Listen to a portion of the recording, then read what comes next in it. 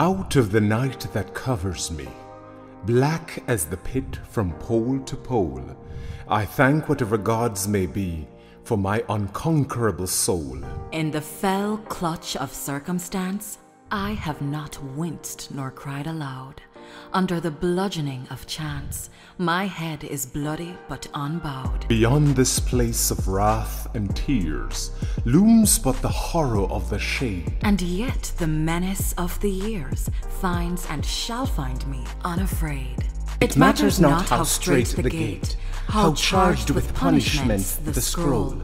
I am the master of my fate.